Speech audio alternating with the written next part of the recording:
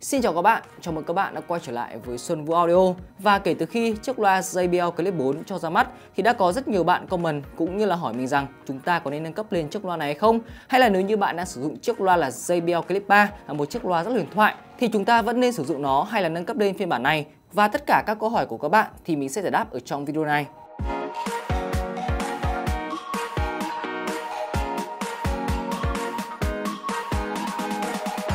Và trước khi bắt đầu video thì nếu như bạn đang muốn mua cho mình những chiếc tai nghe, những chiếc loa Bluetooth đến từ thương hiệu JBL chính hãng và cũng như là muốn nhận được nhiều chính sách ưu đãi thì đừng quên là truy cập ngay vào tai nghe.com.vn và ở trong video này thì mình sẽ để cho các bạn một đường link mua hàng của chiếc loa JBL Clip 4 ở ngay phía bên dưới phần mô tả của video nhé. Để nói chuyện sâu hơn về chiếc loa JBL Clip 4 thì lần trước mình đã có một cái video mở hộp cũng như là trên tay nhanh về chiếc loa này rồi. Nếu như bạn đang muốn xem chi tiết hơn về hình ảnh cũng như là chất lượng gia công của nó thì các bạn có thể xem lại video trước ở trên kênh nhé. Còn bây giờ thì mình sẽ tiến hành so sánh luôn chiếc loa là JBL Clip 3 với chiếc loa JBL Clip 4, một chiếc loa vừa mới cho ra mắt đến từ JBL. Đầu tiên về phần thiết kế thì với chiếc loa JBL Clip 4 thì chúng ta sẽ có một thiết kế hài hòa hơn cũng như là cả tính hơn. Cả hai chiếc loa này thì chúng ta đều được trang bị một phần móc khóa có thể móc vào trong ba lô hoặc là bất kỳ một khu vực nào khác để các bạn có thể dễ dàng mang nó đi du lịch. Tuy nhiên về cá nhân của mình thì mình thấy rằng phần móc cài ở trên chiếc JBL Clip 4 thì được làm nó tinh tế hơn, chúng ta được phủ những phần lớp cao su cũng như là cái phần bản lề của nó thì được làm chắc chắn hơn. Ở trên phần thân của loa, chúng ta đều được trang bị những phím bấm điều khiển, ví dụ như là phím tăng âm lượng,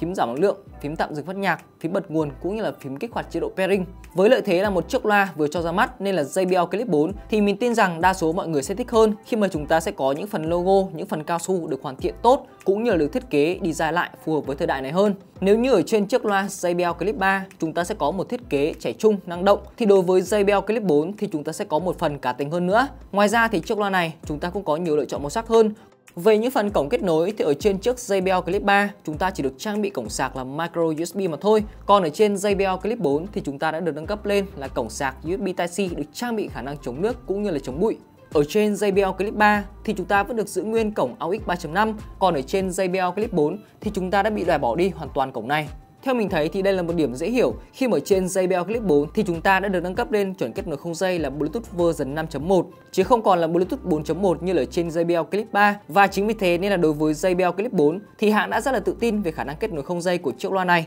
Tiếp theo để so sánh với thời lượng pin thì thời lượng pin ở trên hai chiếc loa này thì nó hoàn toàn giống nhau. Ngay từ phần dung lượng bên trong thì cả hai mẫu loa này thì đều được trang bị một viên pin có dung lượng là 1000 mAh.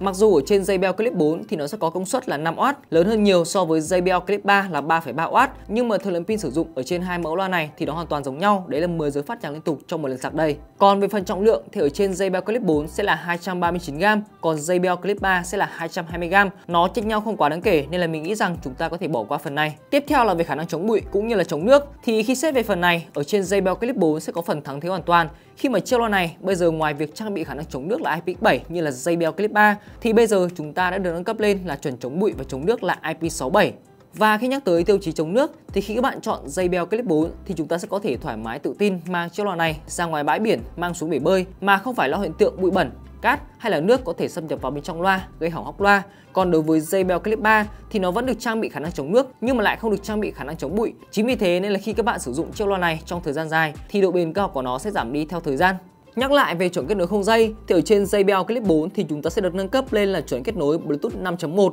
còn Clip 3 là 4.1. Với chuẩn kết nối Bluetooth version 5.1 thì chúng ta sẽ có một khả năng kết nối không dây ổn định hơn, mượt mà hơn rất nhiều so với chuẩn kết nối là Bluetooth version 4.1. Còn về phần âm thanh thì cả hai chiếc loa này chúng ta đều được trang bị một phần driver có đường kính lên tới là 40 mm. Tuy nhiên ở trên JBL Clip 4 thì chúng ta sẽ có công suất lớn hơn đấy là 5W và chính vì thế nên là đối với chiếc loa này chúng ta sẽ có một trải âm thanh nó lớn hơn, cũng như là đã tai hơn khi các bạn sử dụng ở mức âm lượng lớn. Còn về phần âm thanh thực tế thì các bạn sẽ cùng mình nghe qua một vài bài hát mà cả hai chỗ này thể hiện nhé.